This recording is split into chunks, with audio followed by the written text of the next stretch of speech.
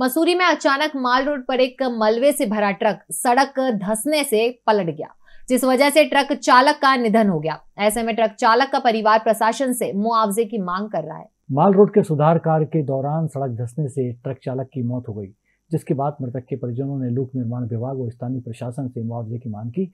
इस मौके पर सैकड़ों की संख्या में ग्रामीण मौजूद रहे और उन्होंने चालक के परिजनों को मुआवजा देने के साथ ही परिवार के एक सदस्य को सरकारी नौकरी देने की बात कही। इस घटना पर उप जिलाधिकारी नंदन कुमार ने बताया कि लोक निर्माण विभाग द्वारा फौरी राहत देते हुए मृतक के परिजनों को पाँच लाख रुपए की सहायता दी गई है और दस लाख रुपए एक माह के भीतर दिए जाएँगे। साथ ही पाँच लाख रुपए की राशि अन्य विभागों द्वारा भी दी जाएगी। उन्होंने कहा कि ये दुखद घटना है। वहीं लोक निर्माण विभाग के अधीक्षण अभियंता ने कहा कि मृतक के आश्रितों को जो भी संभव होगा सहायता प्रदान की जाएगी।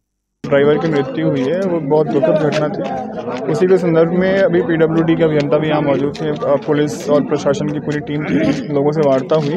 और उसमें सहमति मिली है कि जो पीडब्ल्यूडी के द्वारा जो है अभी तत्काल जो है लमसम पाँच लाख रुपए दी जाएँगी और दस प्लस पाँच जो है भविष्य में दी जाएँगी। दस लाख पीडब्ल्यूडी के द्वारा दिया जाएगा, इंस्टॉलमेंट में और बाकी पाँच लाख के अन्य विभाग भी उसमें हैं। तो वो भी उसमें अपना हिस्सेदारी करेंगे। और पी के द्वारा ये भी कहा गया है कि जो एक्स्ट्रा पाँच लाख है, अगर वो नहीं भी हो पाता है तो पी पूरी ज़िम्मेदारी लेगी और उस पाँच लाख का भी उसमें उन लोगों की मांग एक तो मुआवजे की थी और दूसरा उनको नौकरी देने वाला मामला था। अब जिसमें विभाग द्वारा उसमें जो ठेकेदार है, उसमें उसकी सहमति बनी है कि उनको कुछ मतलब मुआवजा दिया जाए तो लगभग पंद्रह से पंद्रह लाख के आसपास का अमाउंट है उसमें। तो वो ठेकेदार उस पर एग्री हुआ है कि मैं उनको मुआवजा प्रोवाइड करा दूँगा।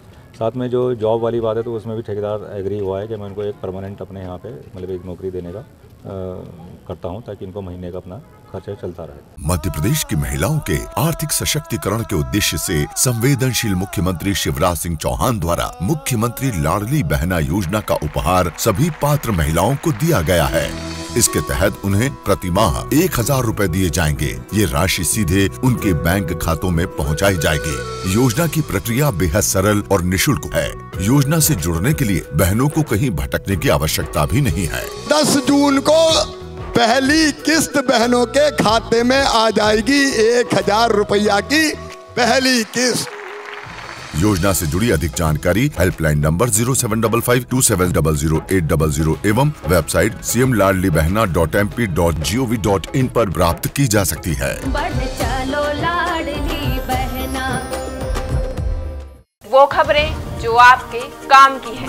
वो खबरें जो आपके लिए ज़रूरी है। हर आम और खास से जुड़े मसले। हर मसले का सटीक विश्लेषण। हम करते हैं सत्य का अन्वेषण।